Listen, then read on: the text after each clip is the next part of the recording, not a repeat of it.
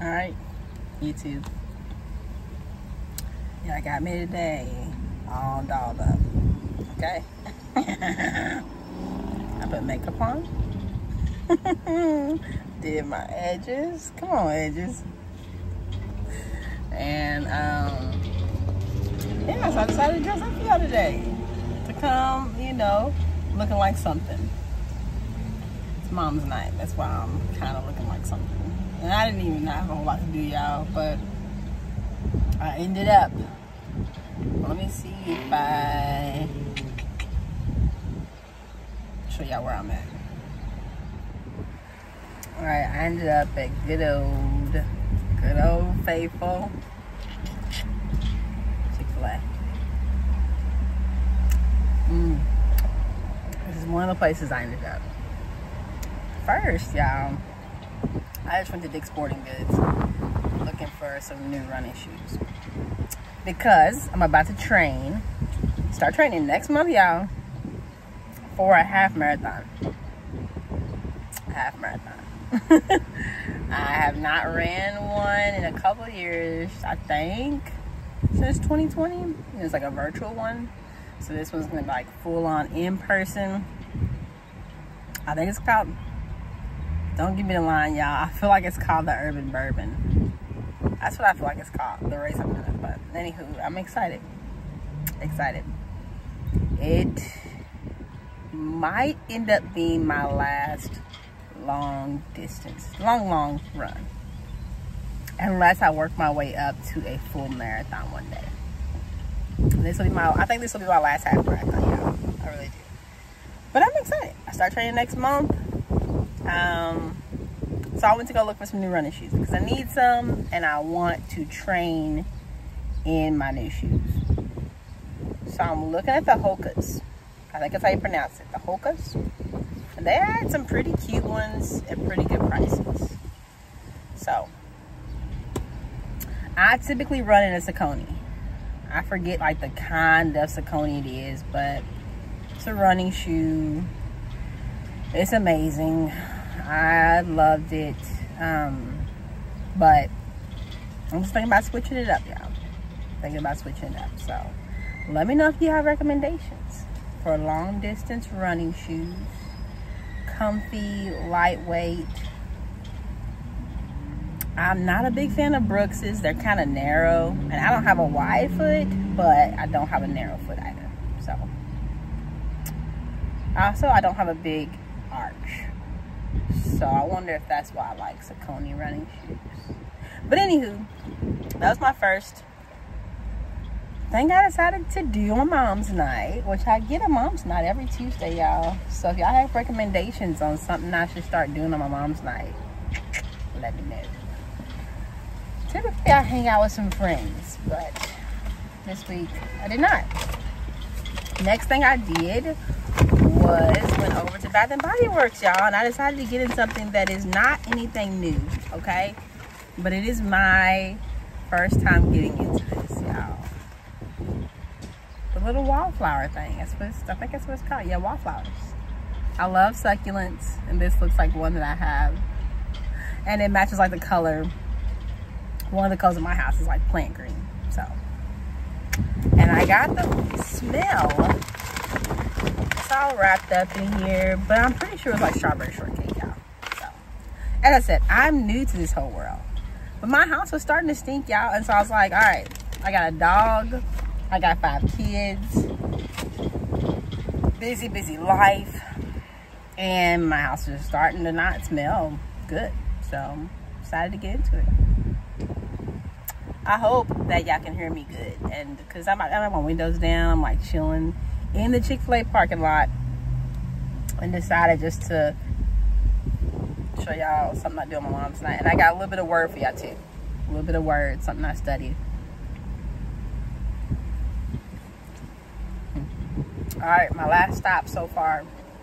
I don't know what I'm gonna do next, but this milkshake, y'all, delicious. Delicious, y'all. It's peach. It's a peach something. It's new. It's a summer flavor. It, is the truth, y'all. It's good. it's good. Mm. I don't know what I'm gonna do next. I got like an hour. I might go walk somewhere. Cause it's so beautiful outside, y'all. Mm. I'm pretty sure summer has already started, but this feels like a beautiful spring day. Wind blowing, sun shining. Yeah. yeah. You can wear shorts if you want. You can wear blue jeans if you want. As you can see, I got on this yellow hoodie. I love wearing hoodies like shirts. So I have nothing under this. Like I don't have a shirt under it. Uh, and then I just got on some mom jeans that I ripped up. Some light color mom jeans. All right, so the word I wanted to share with y'all. All right, I'm still in Jude, okay? And I just came to a really interesting text in the book of Jude. Jude. All right, so the first thing that stuck out to me in Jude this week was verse 5, where it says that Jesus is the one who delivered the people out of Egypt and destroyed all those who did not believe.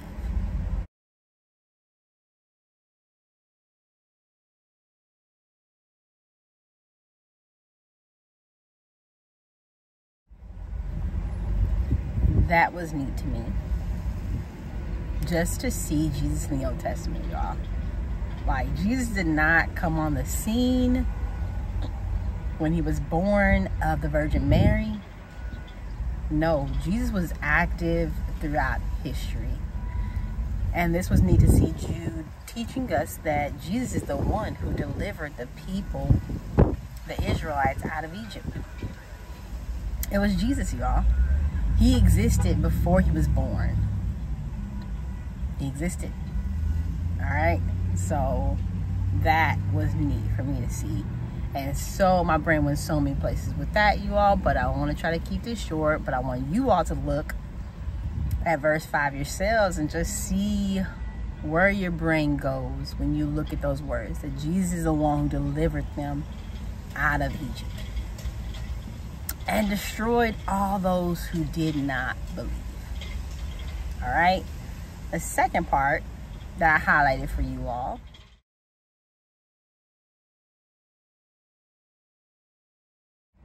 all right so it's amazing it's amazing seeing for one that the archangel michael disputed with satan over the body of jesus. It's just so amazing to see like a behind the scenes like spiritual dispute. You know what i mean? Um but what stuck out to me was the fact that Michael does not slander Satan. And yet, what Jude is pointing out is that there are those who slander glorious ones. Like, Michael rebukes Satan by saying, The Lord rebukes you. The Lord, not me, the Lord does it.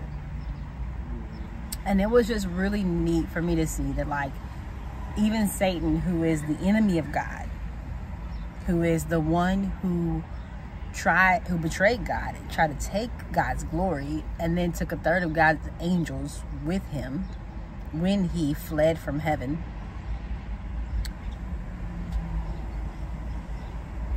Right? This is the one who was not slandered. Even though he was trying to steal the body of Moses. Why? I have no idea. I would love to know what he was planning to do with that body. Don't know. But the point is, Judas telling us that even in that situation, Michael did not slander Satan. The archangel Michael said to Satan, The Lord rebukes you. I don't have to do it. All right, so that was very encouraging to me, reminding me that, like, we don't have to slander people right? There are people who there are people who do wrong things to us. There are people who treat us badly, you all. or who treat badly those who we love. But we don't have to slander them. We don't have to lower ourselves to that point of slandering their name. There are believers, right, who do bad things in the name of God. There are well-known pastors, well-known preachers and teachers who disgrace God and they do bad things to people. But it's not our job, you all, to slander them. That's not our job. It's our job to remind them that God is the one who rebukes their actions. It is God. Not our place. So that was neat to me. Y'all take a look at Jude.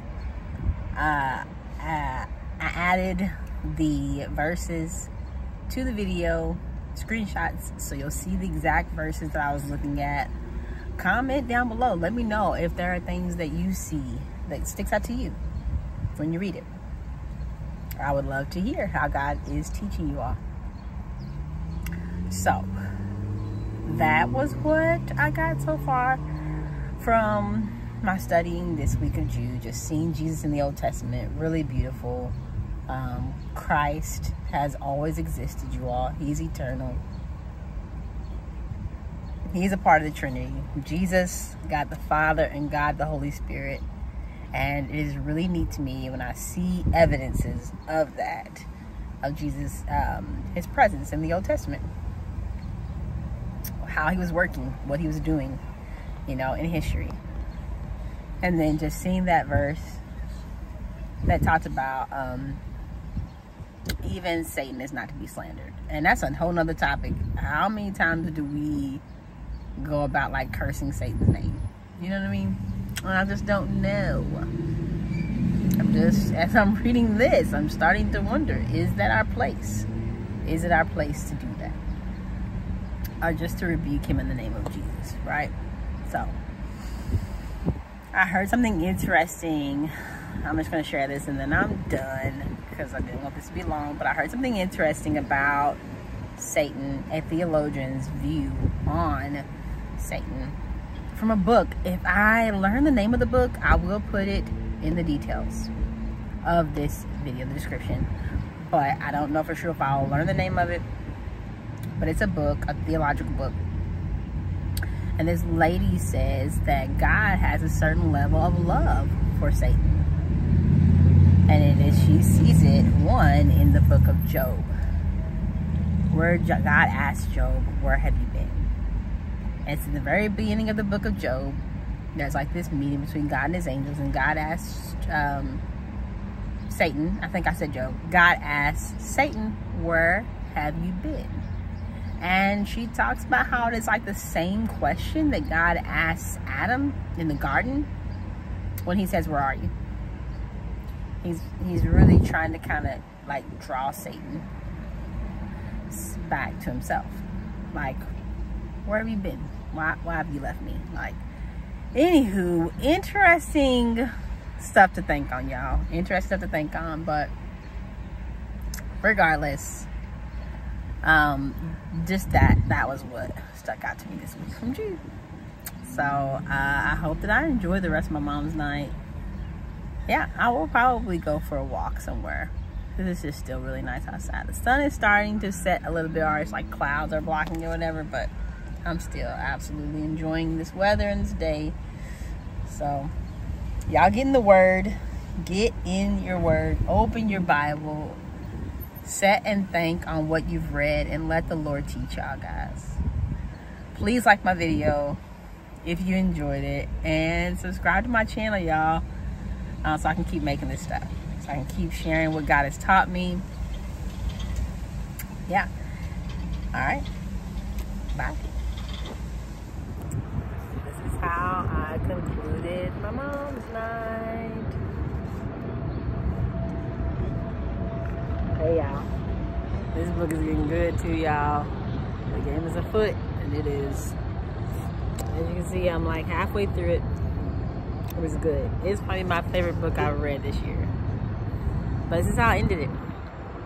At our waterfront, reading my book with the sunset and beautiful people all around